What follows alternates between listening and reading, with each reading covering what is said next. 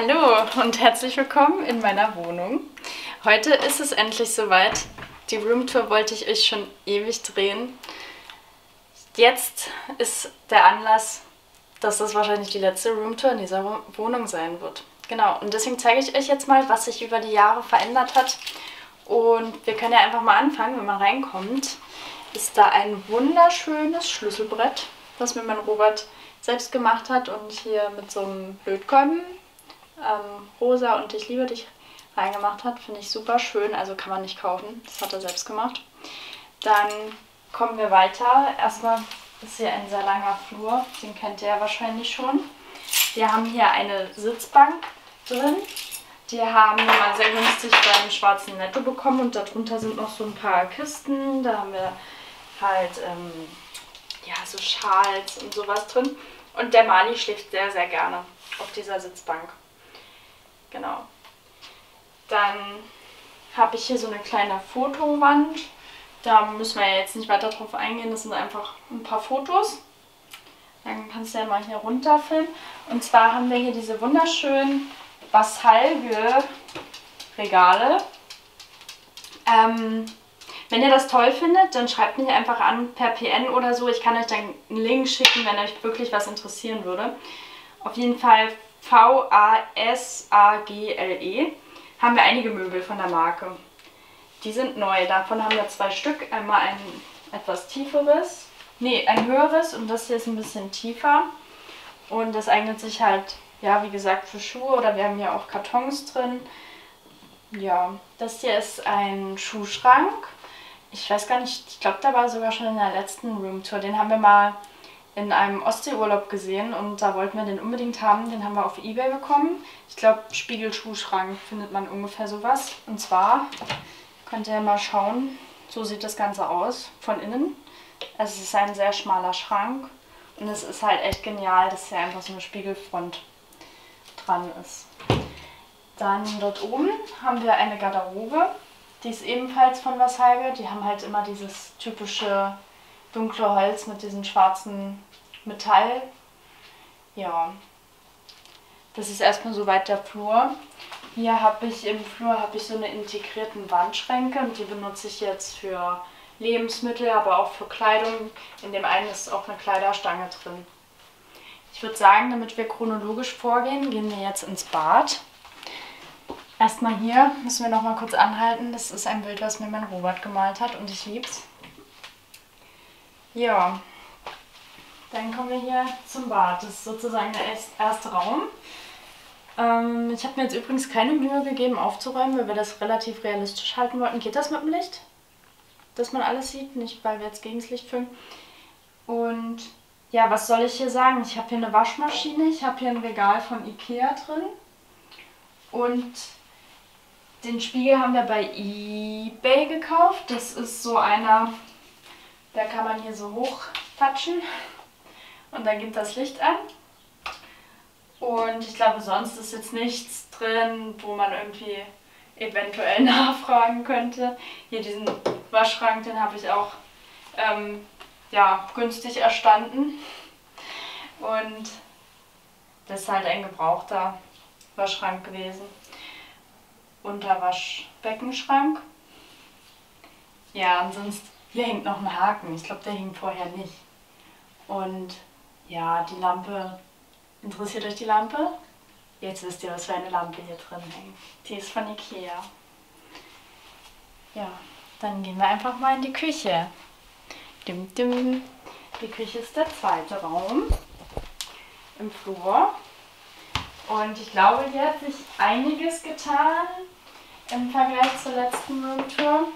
Erstmal das Herzstück der Wohnung, meine Küche, meine weiße Hochglanzküche.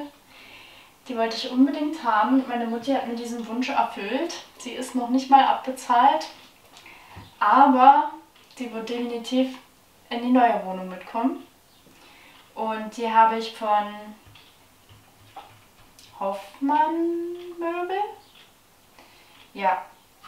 Und genau, hier habe ich einfach eigentlich stehen die Sachen hier alle nur wild drumrum und hier oben habe ich meine ganzen Proteinsachen und so. Die Regale hier, Die habe ich noch öfter in der Wohnung hängen. Und zwar habe ich die ähm, von H&M. Und da oben diese Hängepflanze, die gab es mal beim Aldi und der Winkel ist von Ikea, finde ich auch sehr schön. Dann können wir ja mal kurz hier rumgehen. Ähm, hier habe ich so eine Fotowand, die habe ich bei Ikea bekommen. Finde ich richtig toll. Die habe ich auch nochmal im Schlafzimmer. Und ja, ich habe überall so eine, ich weiß gar nicht, wie man die Klemmfix-Rollos. Die gibt es manchmal ganz günstig bei Omi. Ich glaube, das haben wir mal für 5 Euro bekommen. Und eine Menge Blumen. Die Blumentöpfe sind immer unterschiedlich.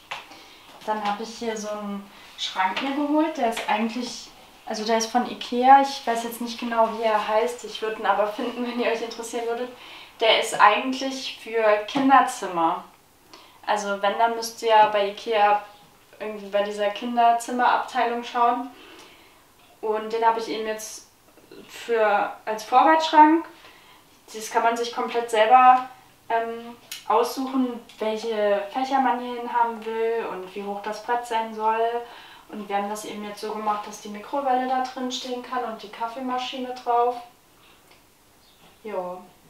Das Regal hier, das war in der ersten Wohntür, glaube ich, noch braun. Das hat Robert umlackiert. Mit, also einfach mit weißem Lack. Hat gut funktioniert. Hier habe ich einen Bartisch von Ikea. Den habe ich auch schon seit Anfang an. Den finde ich auch immer noch ganz schön.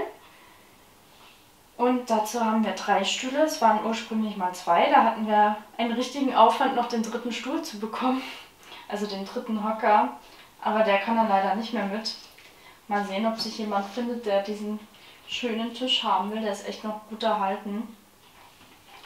Wir haben einen richtig tollen Miele-Kühlschrank bekommen. Ähm, genau, von der Bekannten haben wir den geschenkt bekommen. Da bin ich auch sehr froh drüber, weil ich immer einen großen Kühlschrank haben wollte und jetzt ist er immer noch zu klein. ja. Dann kommen wir mal weiter. Ich hätte ja vielleicht am Anfang mal sagen können, also ich habe eine Zwei-Zimmer-Wohnung und die ist ungefähr so 57 Quadratmeter groß. Und jetzt stehen wir auch schon im Wohnzimmer. Da sieht man direkt wieder ein Möbelstück von Vassalge. Ich finde die Möbel echt richtig toll. Das ist jetzt so eine kleine, ich weiß gar nicht, wie man das nennt. Also wenn ihr euch wirklich dafür interessiert, dann findet ihr das auch. Dieses ähm, Ornament hier, Bild, das hat mir der Robert umgesprüht. Das ist eigentlich weiß gewesen. Das habe ich mal beim NKD oder beim Family gekauft. Meine Couch, die ist noch gar nicht so alt. Ich glaube, ich habe sie mir letztes Jahr gekauft. Die habe ich bei Otto gefunden. Und dafür, dass sie so groß ist, jetzt nur mal kurz als so Vergleich, ich glaube, mir hat die nur 400 Euro gekostet. Und es war echt schwer, so eine große zu finden. Also ich kann mich hier komplett langlegen, die kann man auch ausziehen und das umklappen. Also es ist wie ein Schlafsofa, man hat auch unten einen Bettkasten drin. Richtig toll. Aber falls ihr auch eine Couch sucht zum Beispiel und bei mir aus der Nähe kommt oder bei euch vielleicht auch einen SB Möbelboss gibt, war, da kriegt man auch relativ günstig auch so eine großen Möbelstücke, die auch recht schön aussehen. Weil vielleicht kann das Video auch als Inspiration für euch dienen. An der Wand habe ich meine Gitarren aufgehangen. Leider ist da eine Seite durch die Hitze mal wieder kaputt gegangen. Ja, links davon habe ich ein Ikea-Regal und Ikea-Bilderrahmen. In der Ecke hier sieht man meine wunderschöne Vase, die ich von Mutti bekommen habe zum Geburtstag mit tollen Pflanzen, künstlichen Pflanzen, die ich beim Ikea mir zusammengestellt habe als Blumenstrauß. Und das steht auf einem Nachttisch, den seht ihr aber nachher besser, weil ich davon noch einen habe. Den habe ich auch mal beim Schwarzen Netto bekommen. Diese Lampen hier, die gehen mit Touchfunktion an. Hier ist jetzt der Strom aber aus. Die haben wir auch mal bei Lidl bekommen. Die finde ich auch richtig schön. Genauso wie diese Blumentöpfe hier. Die sind auch vom Lidl. Und diesen Blumentopf, der steht jetzt verkehrt herum, weil die Pflanze halt, weil wir die Pflanze zum Licht gedreht haben. Den gab es bei H&M.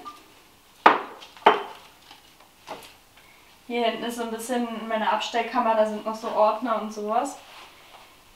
Ja, dann komme ich hier zu meinem Schreibtisch, den finde ich auch super toll. Also ich liebe den sehr. Ich habe den, ich glaube, über Kleinanzeigen oder bei Facebook oder so habe ich den bekommen.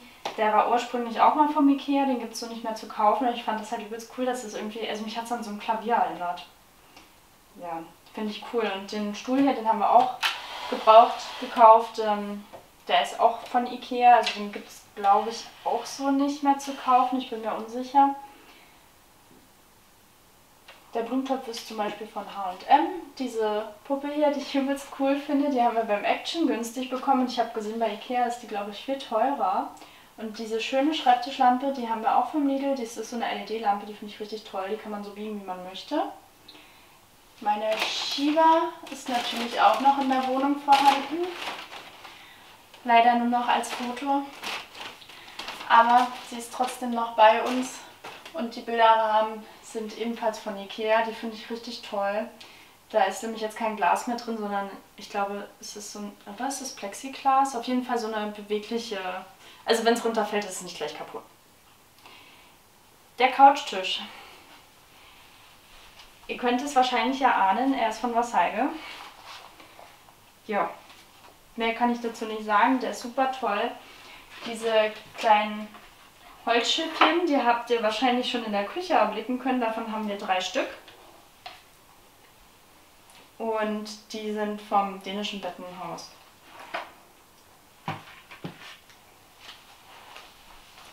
So, dann seht ihr hier dieses TV-Board. Das habe ich mir ebenfalls von Ikea gekauft gehabt. Das habe ich schon die ganze Zeit. Ich wollte es schon mal verkaufen. Bisher hat es noch keiner gekauft. Ja, da habe ich die Griffe geändert. Und zwar waren ja hier so eine schlichten schwarzen dran und hier habe ich mir jetzt solche beigen ausgesucht. Die habe ich, ich meine auch bei, nee, bei Woolworth habe ich die, denke ich, gefunden. Oder? Ja, was auch immer da gerade neben dieser TV-Bank stand. das ist vielleicht auch interessant für euch. Diese Vase ist ebenfalls von H&M. Die ist schlicht, die ist so aus Steingut. Die gefällt mir auch sehr, sehr, sehr. Und mein kleiner Leuchtefuchs, den habe ich mir mal bei Kaufland geholt und ich liebe den. Der darf halt jetzt hier drin immer noch abends leuchten. Mein Regal ist auch von Ikea und hier habe ich ein paar Bücher drin. Hier habe ich auch solche Boxen. Die gibt es auch bei Ikea. Mittlerweile ähm, gibt es die auch in, einem, in einer anderen Farbe, das seht ihr aber gleich und ich finde die ganz praktisch, weil die kann man hier rausziehen. Und hier habe ich zum Beispiel Erinnerungen von mir und meinem Freund drin und hier unten habe ich auch Erinnerungen von Shiva. Manchmal habe ich hier auch Bastelsachen noch drin, ein paar Bücher, so viele besitze ich nicht, ein paar Switch-Spiele. Ja, und hier können, kann, ja, sieht man das schon?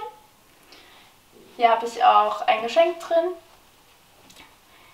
das ist echt richtig toll. Und ich finde, also es ist so selbstgemacht, so rausgeschnitten und da bin ich auch ganz stolz drauf. Ich weiß jetzt nicht, ob ich ihren Namen nennen soll, darf, wie auch immer. Aber ich finde das mega. Das ist so richtig personalisiert. Und diese richtig schönen Weingläser, die haben wir bei Lidl gefunden. Und ich liebe die. Und die müssen wir echt mal einweihen, dass sie nicht nur Deko sind. Hier oben ist wieder ein äh, Regal von Ikea. Und ja, hier steht eben ein großer Fernseher. Ich hatte vorher gar keinen Fernseher. Doch, ich hatte so einen alten Klopper mal. Auf jeden Fall gucke ich gar keinen Fernsehen. Den benutzen wir tatsächlich, oder ich benutze den hauptsächlich oder eigentlich nur, um Switch zu spielen. Die haben wir uns auch angeschafft gehabt, die Switch. Und ja, dann kommen wir hier zu meinem Stuhl von Ikea. Der ist eigentlich immer noch der gleiche wie aus der ersten Roomtour, plus dass wir das Polster neu gekauft haben. Ähm, ja, das eben der Stuhl, wo immer Shiva drauf war und ja, Der Stuhl bedeutet mir auf jeden Fall noch sehr, sehr viel. Und auf dem Fensterbrett sind halt einfach noch ein paar Blumentöpfe. Die sind auf jeden Fall beide vom Teddy. Und den da hinten weiß ich gar nicht mehr. Den halt, glaube ich, vom Kick. Diese Rollos, die sind jetzt von Ikea. Das sind jetzt nicht so eine Clampfix, aber die sind richtig schön, weil die. Also die sind so. Ja, die Clampfix-Rolle sind auch so, dass sie das Licht noch durchlassen. Aber ich, ich finde die einfach richtig toll. Also es ist dann nicht zu dunkel, wenn sie runter sind. Meine geliebte Lampe, wo eine Spinnwebe dranhängt. Ich finde, die kommt hier noch gar nicht so richtig gut zur Geltung. Ich weiß nicht, ob sie das in der neuen Wohnung tut. Die ist schwarz-gold. Wer hätte das gedacht? Ich habe eine goldene Sache von Anfang an schon gehabt, obwohl ich Gold eigentlich gar nicht mochte. So. Die habe ich beim dänischen Bettenhaus mal gekauft, aber ich glaube, die gibt es auch überall. Das Regal ist ebenfalls vom dänischen Bettenlager. Ich glaube, jetzt heißt es ja Jysk, aber ich denke, jeder weiß, was ich damit meine. Und hier ist auch dieser Karton ein bisschen dunkler. Also es hat nicht mehr so ein helles Beige, sondern so ein Taub da gibt es eben bei Ikea jetzt zurzeit die und hier unten diese Rauszieh-Dinger, die sind auch vom Ikea, aber ich habe sie jetzt erstmal nicht mehr gesehen in diesem schwarz-goldenen Design. Da hinten stehen noch meine Softboxen, mein bisschen Video-Equipment. Mein Ringlicht steht eigentlich auch da hinten. Genau, also falls ihr Fragen habt zu irgendeiner Sache, dann, dann fragt mich einfach ganz gerne und schreibt mir am besten bei Instagram, weil da kann ich euch gegebenenfalls auch einen Link schicken, wenn ihr irgendwas cool findet.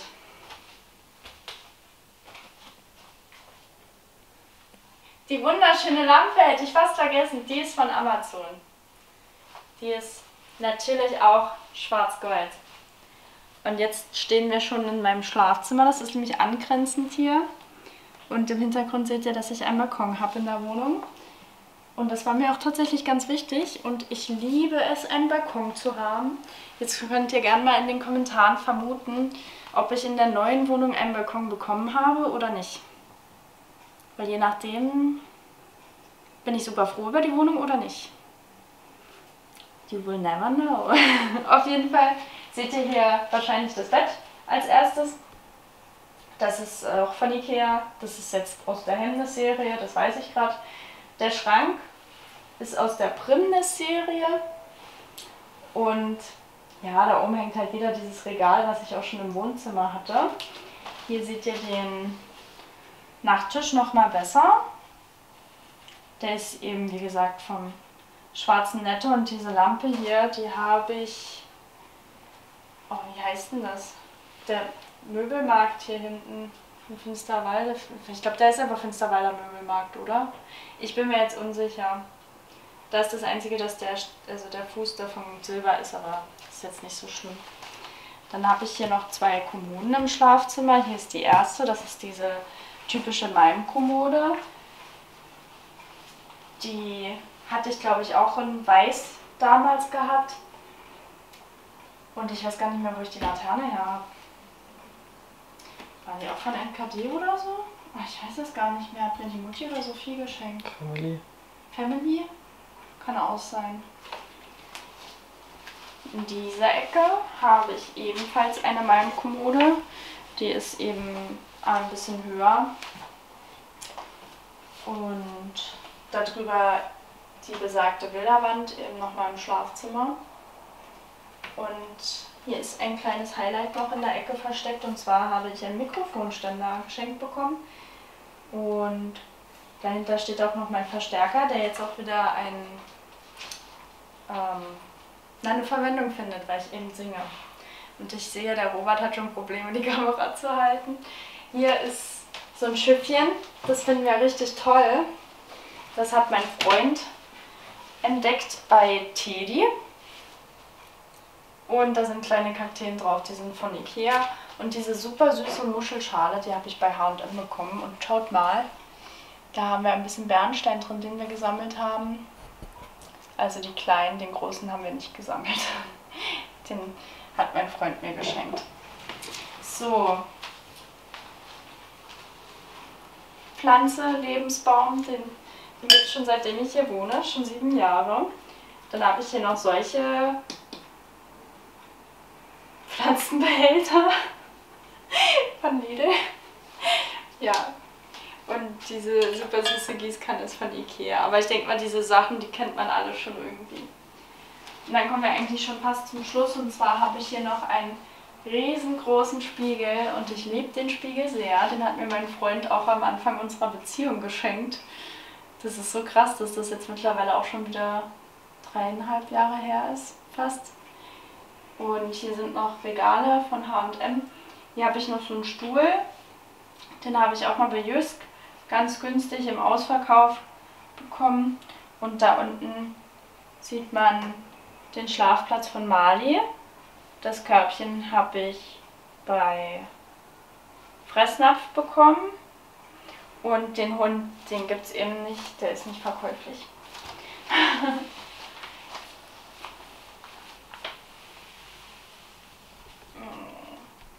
mein Mali ist ganz müde. Hier habe ich auch so ein cooles Plissé an dem Balkon dran. Das geht komplett bis runter. Also solche Sachen, die findet ihr echt überall. Aber ich kann euch empfehlen, schaut und vergleicht. Bei Amazon findet man ganz günstig mal Angebote, aber die Preise schwanken auch oft, wenn ihr euch für sowas interessiert. Oder vielleicht auch bei Kleinanzeigen, vielleicht auch ein gebrauchtes. Ja. Und dann kommen wir schon zu meinem sehr großen Balkon. Und hier seht ihr ein Palettensofa. Das haben wir, also ich und mein Freund haben das zusammen gemacht. Und das sind einfach vier Paletten, drei stehen unten, eine ist hinten angelehnt. Und dann habe ich hier so eine Kissen noch dazu gekauft, die habe ich damals vom Kaufland gekriegt. Und dann habe ich eben hier noch etwas ältere Balkonmöbel, die habe ich mal von meiner Schwester bekommen, also keine Ahnung, wo die her sind, aber die erfüllen auf jeden Fall ihren Zweck. Diesen richtig schönen Schirm hier, den gab es bei Lidl. Und würde ich euch auch empfehlen, solche Sachen immer so im Angebot zu kaufen. Und sonst, ich weiß nicht, was vielleicht noch interessant werden kann, äh, sein könnte. Unsere Pflanzen hier, da bin ich richtig stolz drauf. Das ist ein Baum, den habe ich meinem Freund geschenkt. Das ist ein Olivenbaum, Olivia ist das. Und dann habe ich von ihm habe ich ähm, auch einen Stachelbeerbaum bekommen. Und zum Geburtstag hatte ich auch so eine Pflanzen und ein Himbeerpflänzchen. Das ist riesig geworden. Und diesen schönen LED-Baum, den gab es. War der auch zu Weihnachten? Den gab es zu Weihnachten bei Kaufland mal. Die gibt es jedes Jahr wieder und auch relativ günstig. Also ich glaube im Internet bezahlt man da auch über 50 Euro und ich glaube der hat nur 20 oder so gekostet. Genau. Ja, ich glaube das war es eigentlich. Also wenn ihr noch Fragen habt, wenn ihr euch für irgendwas interessiert, dann stellt mir die gerne, wie gesagt, auf Instagram, weil ich euch da auch die Links schicken kann, weil ich jetzt nicht bei YouTube so viele Links einfügen möchte. Schreibt mir gerne mal, wie ihr die Wohnung findet, was ihr unbedingt haben wollen würdet, wenn ihr es mir entreißen könntet. Das würde mich echt interessieren. Und ja, vielleicht schaue ich mir das Video irgendwann später mal an, also nochmal zu meinem späteren Ich.